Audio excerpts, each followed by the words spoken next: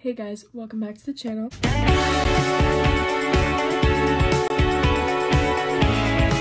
Um, if you're new here, you're welcome to subscribe, but you don't have to. Um, it is now 2023, so happy new year everybody.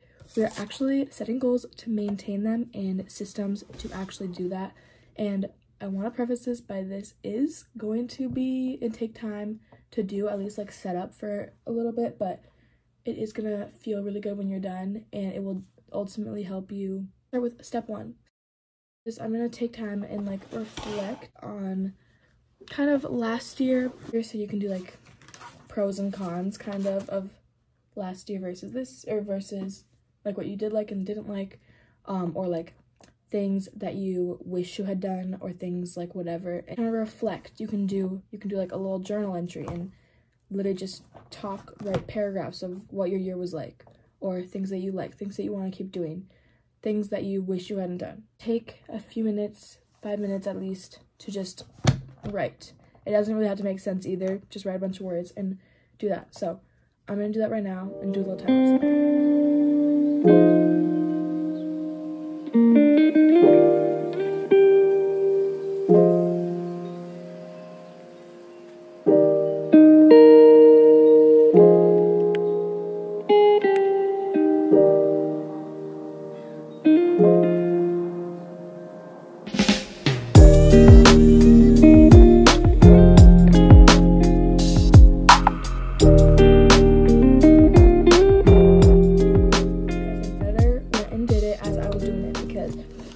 Just finished my little thing. So I did six categories. You can do whatever you want, or you can, like I said, like format it however. But I personally did, my first one was like what I enjoyed this year, um, what I didn't enjoy this year, uh, stuff that I wish I spent time doing or wish I did, um, what I want to continue, like what I'm doing now that I want to bring into the new year, um, what I want to stop doing, and then I did like a little like review category because, you know, they were kind of all over the place and I just did like the key things that were prioritized, prioritized step two. So um, basically spend a little bit of time just writing a bunch of words. Just write a bunch of words and of things that you want to do. Things It can be things that you're already doing that you want to keep doing or just things that you want to do this year. It doesn't matter if you've done them before, if you're doing them now, just write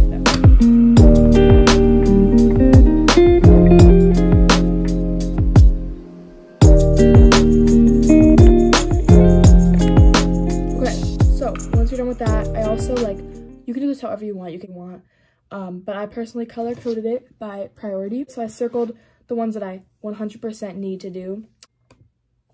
Um, then I have second priority and a different color of stuff that I want to do. It's not, but it's not like as high priority. And then third is like stuff that I'm not going to be that mad if I don't do, but it would be nice to do. So you can do it in priority, you can do it in category. It's really however you feel best about it.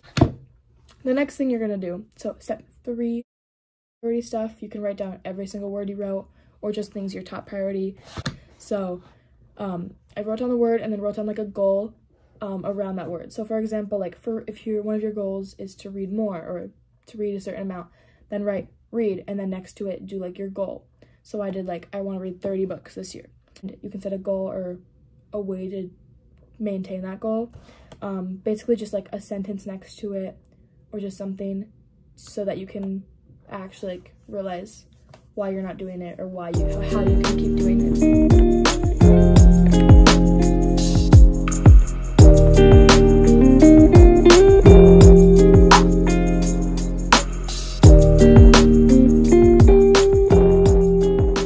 So once that is done, you can make actual like pages and like journaling. So this is kind of like more of the journaling aspect that I personally think is really fun.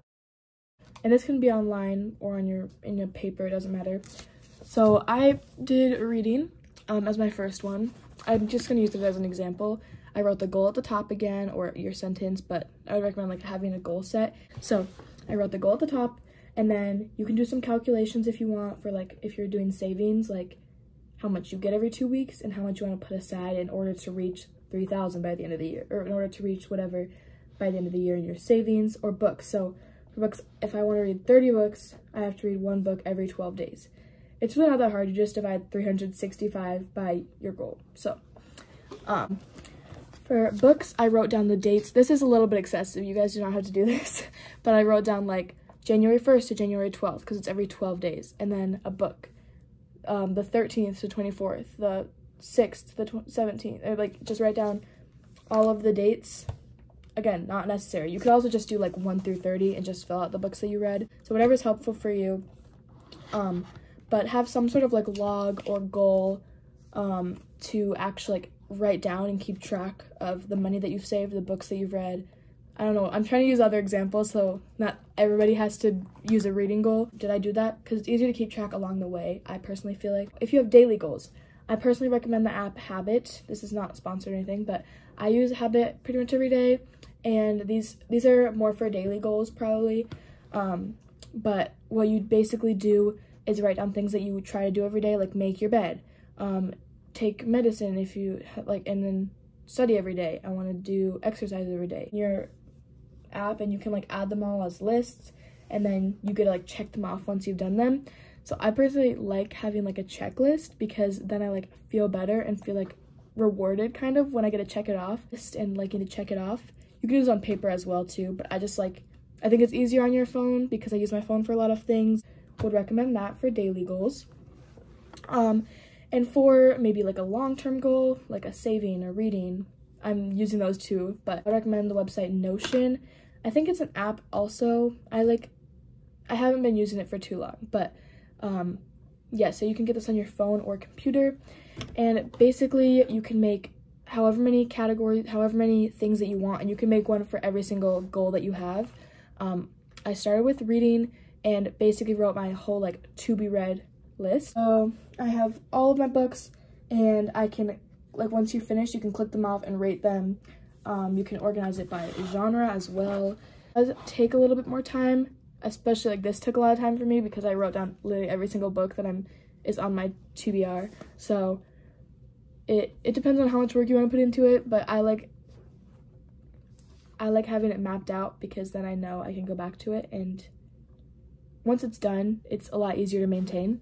You can add a page for studying. So if you have daily homework, um, especially if this is on your computer, like your school computer, you can put down every single goal or every single like homework that you have and then check it off when that's done. And there's a lot of things, if you just mess around with it, there's a bunch of templates as well. And you can make it really aesthetic. So if you want to have an aesthetic thing that you can look at and keep track of, that definitely makes it more fun. So you can have like your cover, you can change your banner, you can change all these things, you can color code it however you want. So it's however much time you want to spend doing this, I would recommend Notion. Um, but yeah, so I hope this is helpful. Um, literally four easy steps to make this, make your life easier and maintain your goals. I am actually about to plan my YouTube videos on Notion and stuff. So yeah, I will see you guys on next Sunday. Um, so yeah, thank you guys for watching. Happy New Year, and we're gonna we're gonna have so much fun on YouTube this year. Hopefully, fingers crossed. Anyways, okay, bye.